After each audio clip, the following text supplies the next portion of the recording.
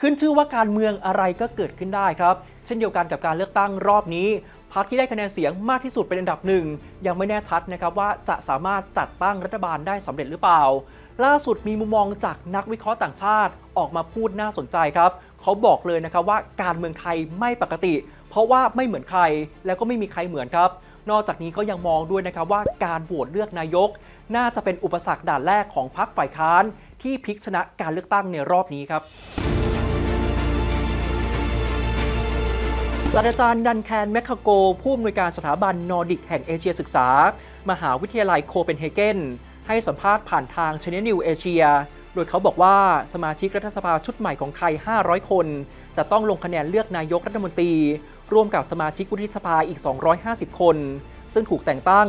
มาจากนายพลทหารที่ทำรัฐประหาร ดังนั้นรัฐบาลชุดใหม่ต้องรวมเสียงข้างมากในสภาให้ได้ เพื่อลงคะแนนเสียงเลือกนายก และต้องมากกว่าเสียงของสว นอกจากนี้เขายังบอกด้วยว่า ถ้าประเทศไทยเป็นประเทศที่ปกติทั่วไป คุณคงสามารถคาดการณ์ได้ว่า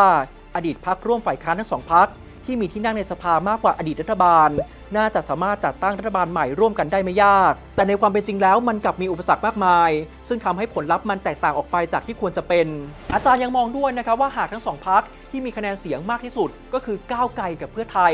สามารถจับมือจัดตั้งรัฐบาลได้สำเร็จแต่ก็ยังมีความเสี่ยงอาจถูกยุบพักครับศาสตราจารย์แมคคาโกยังบอกด้วยนะครับว่าการเลือกตั้งครั้งนี้ทำให้เห็นโลกทัศน์ที่แตกต่างกันอย่างมาก ระหว่างประชาชนที่มีอายุต่ำกว่า 30 ปี และประชาชนที่มีอายุมากกว่า 30 ปี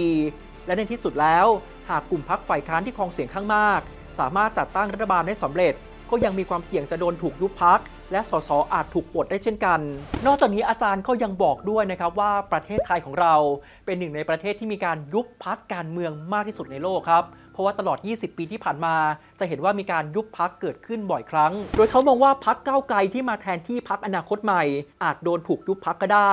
ซึ่งไม่ต่างอะไรกับพักเพื่อไทย ก็อาจถูกยุบเช่นกัน เพราะว่าการเมืองไทยมีความซับซ้อนกำกวม ขณะที่ระเบียบการเลือกตั้งก็ยังคลุมเครือ และนี่ก็เป็นอีกหนึ่งมุมมองครับจากนักวิเคราะห์จากต่างชาตินะครับ ทุกท่านเองคิดเห็นกันอย่างไรบ้าง กับการเลือกตั้งครั้งนี้ก็ลองคอมเมนต์กันเข้ามาหน่อยครับ แล้วก็ฝากกดไลค์กดแชร์ด้วยในทุกช่องทางเลยนะครับทั้ง Facebook YouTube แล้วก็ TikTok ของทางกรุงเทพธุรกิจครับ